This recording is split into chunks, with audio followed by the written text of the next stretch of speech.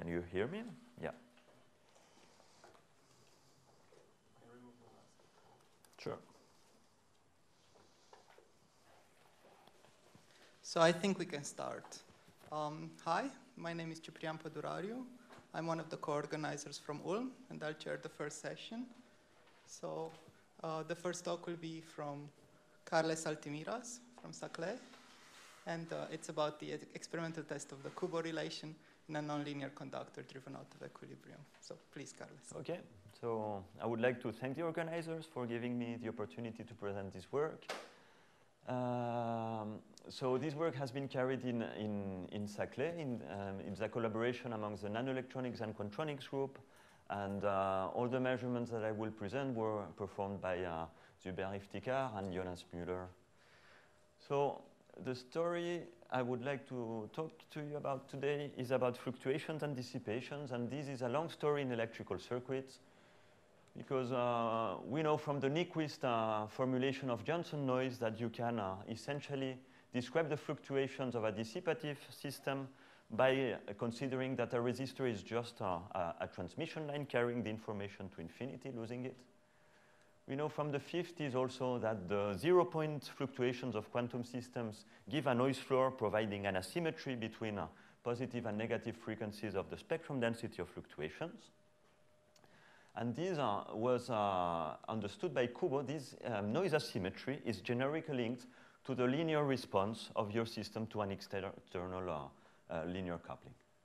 So all these ideas were um, somehow put together by the Caldeira-Leggett uh, description of dissipation in viscous dissipation, that it's indeed this coupling to bosonic bath, and with that well, there are many phenomena that can be predicted in elastic tunneling, dissipative quantum phase transitions resulting from this coupling, and so on. So I would like to stress that even though people use a Kubo formula by uh, um, computing these uh, current fluctuations in a perturbative way, this structure um, holds far from equilibrium. So this was already a knowledge in the 80s, where rather than doing a, a, a a perturbative response, they were using a variational computation of the perturbation.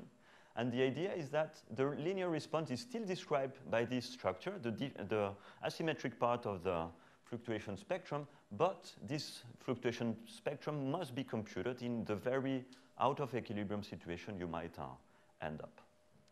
And this was uh, generalized uh, 10 years ago to, to arbitrary time-dependent states in the sense that you have an arbitrary time-dependent classical drive. So why is that uh, general, this structure? Well, if, if you look to, to a quantum system classically driven by a parametric drive, which is coupled to just uh, linearly coupled to one observable of the system, just a, a, simple calculation of the power dissipated into the system tells you that indeed the, the power dissipated in the system is provided by the real part of the admittance as computed by the Kubo formula. So it is just the Joule effect. Of course, when your system A is driven by a quantum agent, well, you cannot uh, conclude things that easily, so you need to simplify your coupling to, to understand what's going on. Usually, um, we can take a, a, a, simple system, just a quantum conductor coupled to a resonant mode with his own losses. And when you do some approximations that the, the energy stored into the resonator has no memory, so it's leaking faster than it is injected, which in practice it corresponds to a large impedance mismatch between the current conductor and its electromagnetic environment, you find that the power which is being dissipated by the quantum conductor takes this very simple form, which is a difference between a, um, negative frequency current fluctuations weighted um, by one prefactor and uh, um, with an opposite side, the positive frequency current fluctuations. So with this convention, we find that there are indeed three terms. One term which doesn't care about the state of your electromagnetic environment, and this is just the spontaneous emission of the um, quantum conductor into its electromagnetic environment. As you put some energy into the environment, um, for example, with your input port, you get some stimulated emission from your conductor, but now, since there is some energy to take, the quantum conductor can take it and this is the stimulated absorption. So we find the same uh, things as in quantum uh, um, optics.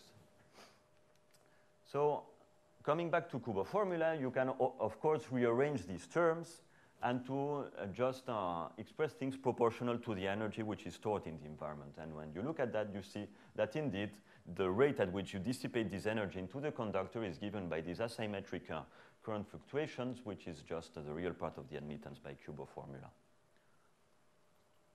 Okay, so can we measure separately these fluctuations? Can we measure these elements? Well, historically, people were looking at what you can do into the fields propagating into the lines. So if you take the classical Johnson setup, which is you have some fluctuating field, you narrow band filter it, and you look at how much power you get into this band by some uh, rectifier. It can be a diode, it can be a, a, a light bulb. And if you do the quantum theory of it, as in input-output theory, you get that the rectified signal is indeed the symmetric uh, combination of, uh, of the, the voltage fluctuations carried by the transmission line.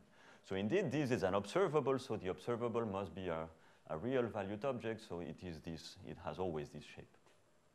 I think that's why many people have believed for many times that one can only measure symmetrized noise.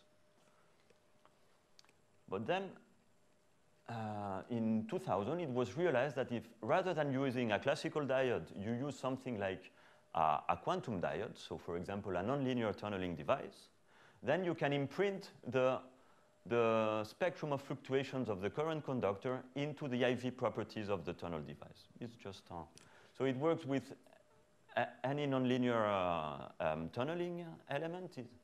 Um, it can be SIS uh, tunnel junctions, quantum dots, double quantum dots. So the idea is that you have a sort of current fluctuations, which thanks to some coupling circuit imposes some uh, fluctuations of flux at the input of the nonlinear tunneling device. And to give you an idea, this is taken from uh, um, the group in Orsay. So um, how an SIS junction works uh, as a photon-assisted transport detector is it exploits the fact that its energy spectrum is bounded by below, so you have a full range of operation where the device is only sensitive to the absorption of photons, and this absorption of photons gives rise to a rectification of the cur IV curve, which is only proportional to the emission noise which is sent to the device. When the bias um, is larger than twice the gap, the, the device is sensitive to both, so the photon-assisted uh, transport will be a combination of the, the emission noise and absorption noise which is imposed at its input. Still, one can use uh, one part of the, of the photon-assisted transport current to characterize just the emission noise of the conductor and hope to be able to um, subtract it from the, the part when you have both emission and absorption. This gives a well-defined uh, scheme to measure separately the emission and the absorption noise, and indeed, it was used uh, in 2010 to, to measure different, um, separately the emission and the absorption noise of the thermal noise of a single mode uh, resonator. So the single mode resonator um, had uh, its temperature being uh, um, changed, and as the temperature is changed, one could see the, the two parts of the Callen-Welton no noise uh, and the, the, difference between the absorption and the emission noise was indeed checked to match the real part of the impedance of the, um, of the um, uh, source of, uh, of, of uh, thermal noise. The problem with this scheme is that it has never been possible to extract uh, um, the absorption noise of an active conductor. And the reason for that is that essentially the schemes that were used were completely symmetric. So if you want to measure the absorption noise of your source, your detector must be polarized in a regime where he's also sending some emission noise into the conductor.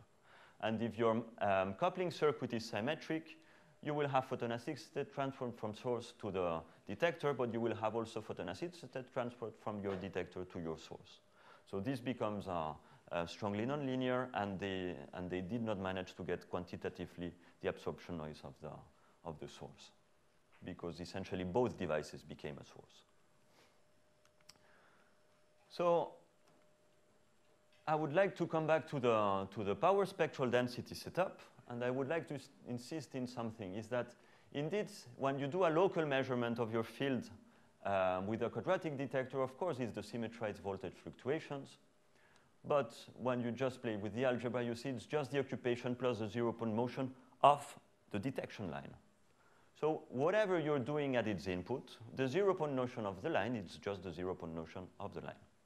The question is, how is the power transferred um, by this line depending of its um, um, um input conditions? So this is what we were seeing before in this uh, um, 3D coupling between the quantum conductor and the electromagnetic uh, uh, environment. And the idea is very simple. When there is a strong uh, impedance mismatch between the quantum conductor and uh, the electromagnetic environment, the quantum conductor is imposing its current into the detection scheme, and then the power that you detect at the output is just the, the weighted sum of the current fluctuations of the, of the quantum conductor weighted by the voltage fluctuations of the electromagnetic environment. So when the electromagnetic environment is sitting um, with zero population close to vacuum, when you measure the emission noise into the, the, the, differential noise, how much power is the quantum conductor depositing into the quadratic detector when you turn it on, then it will be directly proportional to the emission noise only of the quantum conductor. But now if you do this very same measurement with some population into the electromagnetic environment, you will have some contribution of the emission, some contribution on, on, the absorption. And if you have calibrated this population, you can extract the emission contribution to deduce the absorption contribution. So this is, again, a, a well-defined scheme to, to access both. Okay. So um, here is the experimental implementation of this idea. We chose uh, an SIS tunnel junction as a quantum conductor. It's seeing a, a, a, circuit via a bias T. The bias T enables us to voltage bias the SIS junction. And the capacitive port of this uh, bias T is sending the electromagnetic radiation to the radio frequency part of the circuit. So the SIS junction only sees uh, the environment via cavity filter sitting at 6.8 gigahertz this is roughly 10 times uh, um, the excitation quanta um, at 6 gigahertz. It's roughly 10 times the, the, the thermal energy. So um, we, we are sitting very close to vacuum. Then uh, the sample is protected from the detection line by a double circulation. It's amplified, routed to room temperature, where you, we just perform a, a, a power measurement with a diode. Um, this is very standard. The main difference with uh, other setups is that the circulator sitting closer to the junction uh, has a 50 ohm match uh, um, normal tunnel junction, which is itself uh, voltage biased uh, uh, via this inductive port. So the idea is that this junction can also dissipate uh, the, the noise power coming back from the, from the amplifier, but at the same time, it can be used in order to impose some um, population into the modes hitting the SIS junction via the cavity filter. So this is our experimental knob to control the number uh, um, of uh, photons which are seen by the, by the SIS tunnel junction. Uh, okay. So this is the DC characterization of the, of the tunnel junction. So we just uh, voltage bias it and we measure um, its current. So um, indeed, it behaves like an SIS tunnel junction. I would like to stress it's uh, been designed in a squid geometry so that we can uh, cancel the Josephson contribution.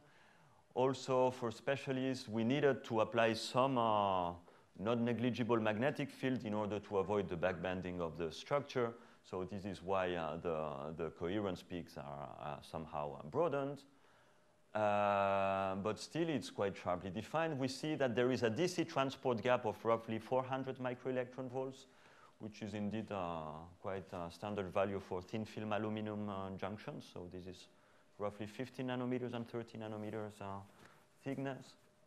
And the important thing is that the DC transport gap that we get from this DC characterization is roughly 400 microelectron volts. So this is the DC characteristic. Let's look at the power, the SIS junction is depositing into the detection circuit when we apply a voltage on it. So this is what we measure. We just make the difference between the power which is present into the line without applying a bias into the junction and the power that we measure when we have um, applied a bias into the junction. So it looks very similar to the IV characteristic of the SIS junction. This is expected from um, the microscopic calculations of its uh, um, um, current fluctuations. The very important thing is that you see now that the onset of power emission is slightly different than the one we had for DC transport. Before it was 400 microelectron volts, now it's slightly off. And if we look closely, this is exactly the quantum of excitation of the photon into the detection line. And now if we take uh, the, the microscopic calculations of the current fluctuations, um, which are non-symmetrized, the emission noise, we indeed see that it uh, fits very uh, neatly. And uh, the microscopic picture is that, is that in order to be able to emit a photon into the environment, the quasi-particles need to have enough uh, energy in order to do so. So of course, you will get the same uh, rate of emission as you had as the rate of the uh, current going through the device, but with an offset of exactly one quantum of uh, excitation. So from this measure, when we can check indeed from that uh, the power emitted in vacuum is proportional to the emission noise of the, of the current fluctuations of the conductor. Now we will uh, use the, the NIN junction in order to tune the population of the, of the electromagnetic environment. For that, we just, uh, I mean, this is just uh, um, power emitted by the shot noise of the junction. When this is the, the, the differential power that we detect uh, again, at room temperature, um, it's the difference between the power emitted by the amplifier and the, the power emitted by the junction. So it fits, uh, well, this is the, the curve we have. Um, uh, this is the, no the expected uh, um, um, noise emitted by a, by a, a, normal state tunnel junction from which we can get um, well, an interesting property, the, the electronic temperature of the electrons. which is roughly 30 milli And the idea now is to look into how the SIS junction is exchanging energy with the environment when the environment has been uh, tuned to these different uh, um, population points. So when we do that, these are the, the traces we obtain. So this is the power when both uh, um, sources are active and when we subtract uh, the, the power, um, the, the, the, noise power of the, of the chain. So we recover the, the curve we saw before. When we do nothing, it's just the emission noise. And as we increase uh, the, the, the, power emitted by the normal junction, in this there is a background uh, power which is detected. And when we get closer to the superconducting gap, um, uh, when we apply the voltage in the SIS junction, we see that we are taking some power out of it and the amount of power we take is um, larger and larger. Um, it seems proportional to the available power to take from. So in order to make this more quantitatively, what we do is to subtract the power which is just present in the, in the resonator. So this is the, the, the trace which describes the power exchanges between the SIS junction and its electromagnetic environment at finite population. So we, at zero bias, this is just the emission noise curve. And now that we see that uh, uh, for all the curves, uh, the, the onset of, uh, of uh, absorption from the SIS junction starts at twice the gap minus the excitation quantum. Okay.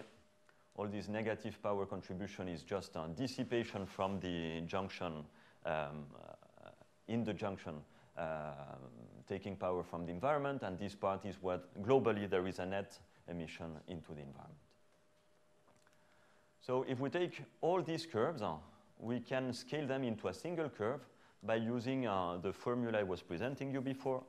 So we, can, we should be able to describe uh, these um, power exchanges with just uh, um, uh, these three quantities.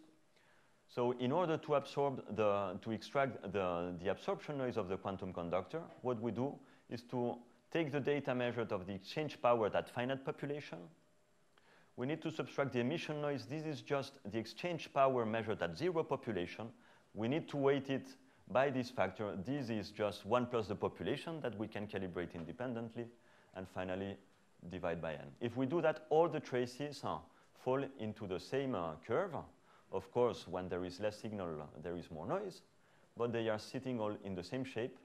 And I have to say that in order to get this uh, uh, beautiful agreement between um, what we expect from microscopic calculations and our calibrations of the occupation number, we need to, to correct it by 1 dB, which is roughly 20%. Um, so this is the trace we expect for the absorption and, and it's the same uh, microscopic picture as we had for the emission, is that indeed, uh, when uh, um, the, the, the, the, bias is such that we are lying just beneath the, the transport gap by the amount of one photon, we can absorb this energy and dissipate it into the SIS uh, junction. So we. So I hope that I convince you at this point that the, from just power exchanges between uh, the, the quantum conductor and its electromagnetic environment, the fact that the electromagnetic environment is sitting so close to vacuum, it has enough asymmetry in its own um, voltage fluctuations to um, be able to extract something which is indeed asymmetric as well for the quantum conductor.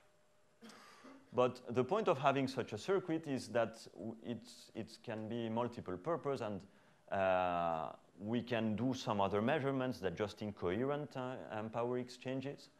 So in between uh, the double circulator and the quantum conductor, we have a, a 20 dB coupler, which is used to send uh, a coherent tone, uh, which is uh, provided by a network analyzer. The, um, this is a monochromatic excitation with a well-defined phase. And then we can analyze from the reflection uh, um, measurement what is the linear response of the SIS junction. This is a, the standard measurement of linear response. So of course you need to tune uh, the, the excitation uh, uh, amplitude to a small enough value to have indeed a linear response. But with that, we can measure independently the admittance of the conductor by a coherent uh, linear response measurement. When we do that, we obtain uh, this uh, um, red line, which looks like the DC conductance of the quantum conductor of the SIS junction, but with rather than have a sharp uh, um, coherence peak, it, there is a sort of plateau. And uh, if we understand the real part of the admittance as a function of the Kubo formula, indeed, we expect uh, to have this shape because we need to make the difference between these two curves. This, this difference becomes essentially constant uh, at large enough voltage. This is just the normal state admittance, and close to the coherence peak, it will uh, be larger. So this is what we directly measure from the VNA, and the black curve is the one we construct using a Kubo relation from the emission and the absorption noise we have measured before. So these are two completely different measurements. One is incoherent power exchanges between the conductor and its environment, and the red curve is a linear response coherent uh, measurement. And we see that at the end, the agreement is 10%, uh, roughly 0.5 dB, so it's even of the order of the, of, the, of the calibration accuracy that we have in the line. Okay. So uh, at this point, I would like to, to come back to the, um, to the um, generality of this uh, Kubo relation. I mean, since it's so much related to the dissipation, it must be better than just uh, lowest order perturbation. If, if we take uh, the, the, the simple system of the quantum conductor, which is uh, minimally coupled to an electromagnetic conductor via radiative coupling, I-phi, well, you can extract these formulas to, from the lowest order perturbation theory. This is uh, what essentially is done in, in the no memory um, calculation, it's, uh, it justifies that you can take these, uh, these lowest order perturbation theory. Also, the impedance mismatch is justifying that you can use it. But you see that um, the current fluctuations that you get describing these, uh, these energy exchanges are the ones you have in the absence of the coupling, so it's not at all general. Because we know that we're missing lots of physics. When this coupling is big enough, either because current fluctuations or because of the, the, the, flux fluctuations are big, we will have lots of things. When the flux fluctuations are big, we will have detection back action. When the current fluctuations are big enough, we will have memory effects building in the system. we can have, because of this frequency curvature between uh, the, the frequencies that we are sending and the ones we are probing. So this is never captured by such uh, uh, a lowest order perturbation. But the thing is that the electromagnetic environment is a linear uh, system. That means that the flux operator describing the dynamics of the electromagnetic operator can be split into essentially its continuum, and we can specialize a detection uh, uh, frequency band. And of course, the, uh, the, its own Hamiltonian can also be split as a sum over the continuum and a very narrow band uh, detection circuit. So if we restrain the power exchanges to a very narrow band of observation of, of, of these power exchanges, we will end up with a, a, a vanishing measure um, uh, flux fluctuations arising from the, from the environment at which we are looking at the energy exchanges. And still, uh, the rest of the system gets decoupled, and this is essentially the dress conductor by all the dynamics which are present in the system besides this.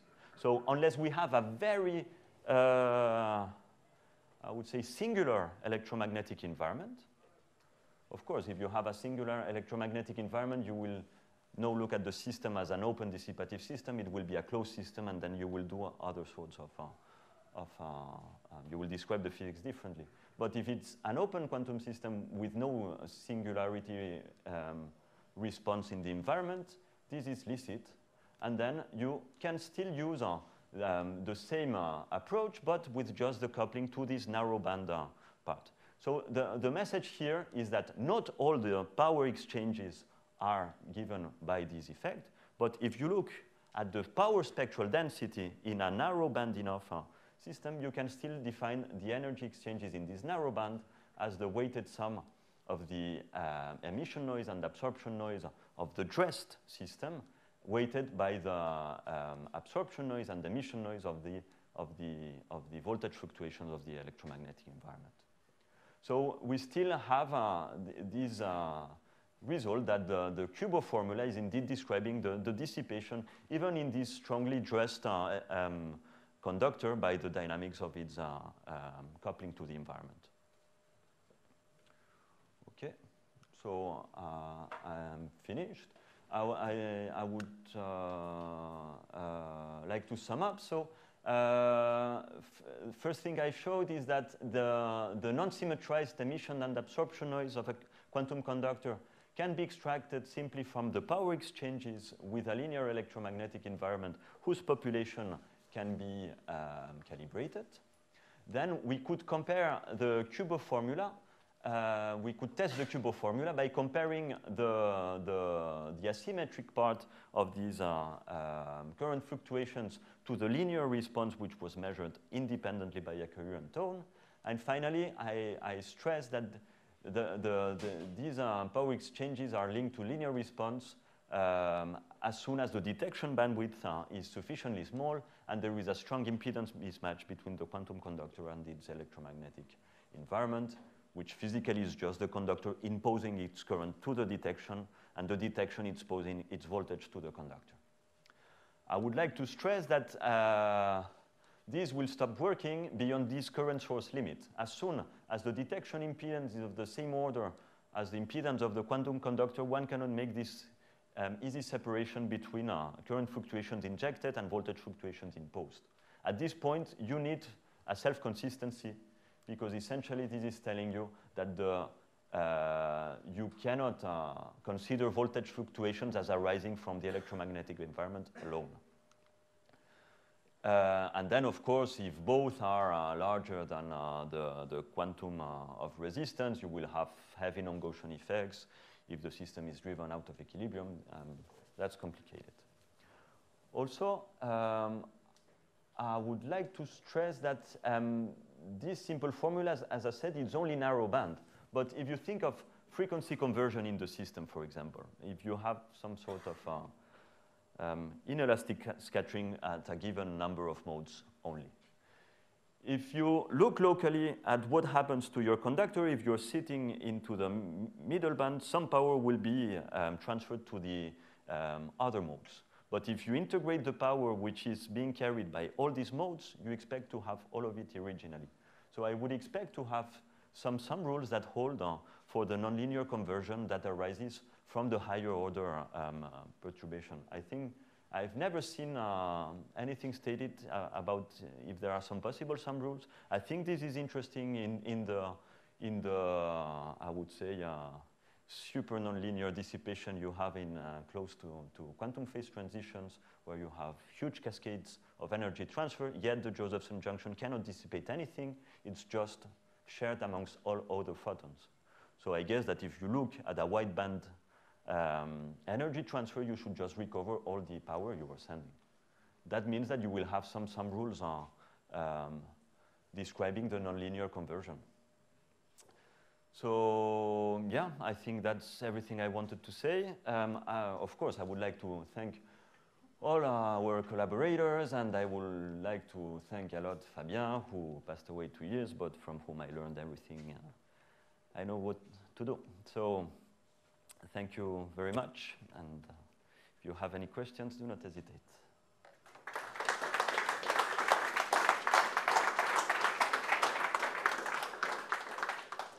Thank you very much, Carles, uh, for this beautiful experiment. Uh, please, questions.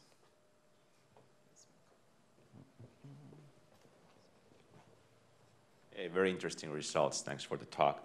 I have a few questions. Uh, one is about the Cooper pairs, like tunneling through inelastically. Uh, do you see a sign of that? Like, Sure, sure. If we do not, uh, if we do not uh, frustrate the squid, uh, there are lots of them, and they are very strong, and it's a mess. You see all the imperfections of the sample. We did not design a sample in order to look at that. Essentially, you see all the ripples of the line. It's, it's a mess. It's not made for that.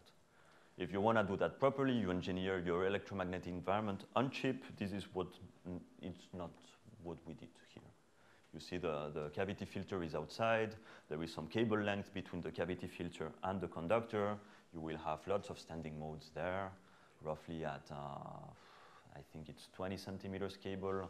So it will be in the 100 megahertz regime. They will be thermal populated.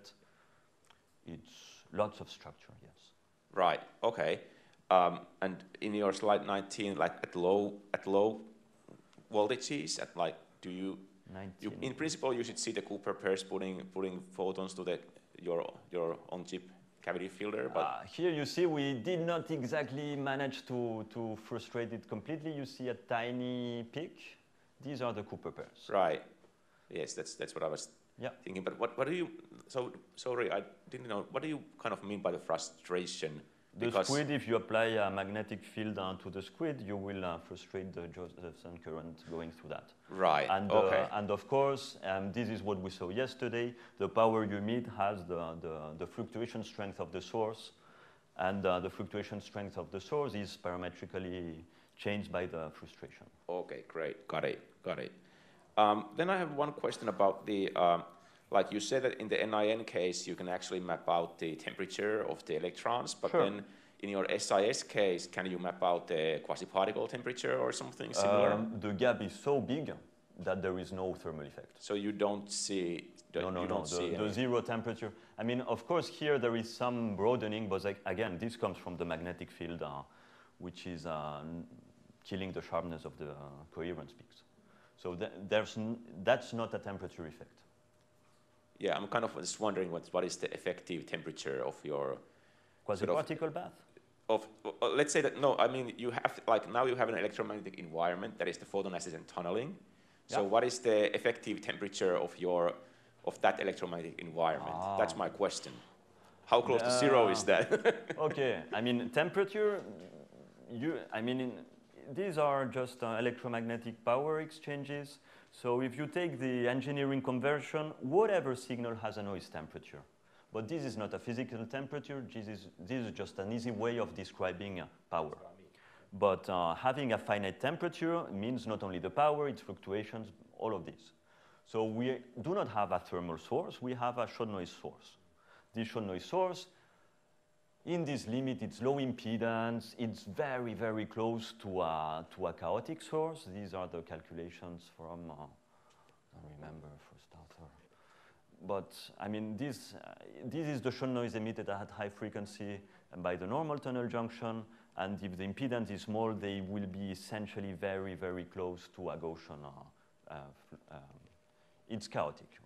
The, the, the power um, um, gives you some number. From this number, you can express its own fluctuations. It looks like a, a, a black body source but there's no reason, uh, I mean, if you change the source, you would still be able to describe a power with temperature, but this is just uh, playing with numbers.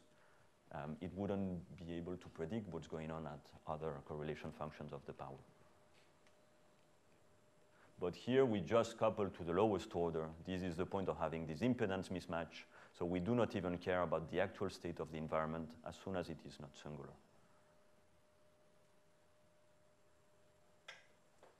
Nico. Yeah. Thanks. Very nice talk. Uh, I would have a question about the perspective. Yes. Uh, could you think about, I guess it's obvious, but how easy maybe is it to replace the SIS junction by a more exotic conductor? And is there any, because you have somehow a narrowband uh, Well- detection scheme, as you said, c- what can it's you learn? narrowband with respect to the nonlinearity present into Yeah. the system. If you have something as nonlinear as the one you play with, huh, Uh, I, uh, 600 megahertz, I think, would be too wide. yes. So my question is, how easy would it be to swap your SIS junction by, I don't this know, is eh, eh, easy, but and- then and can I you mean, learn something interesting? no, this the is maybe my problem- question.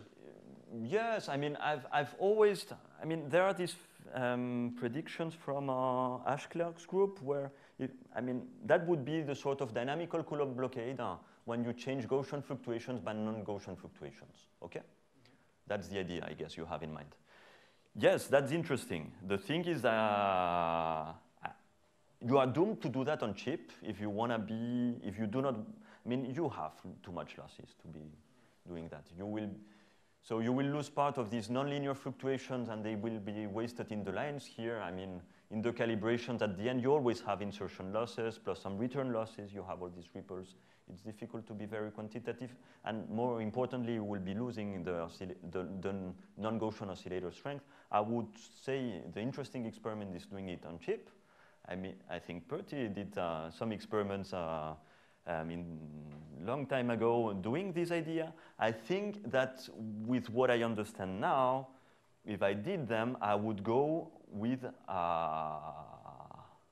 a very asymmetric coupling scheme.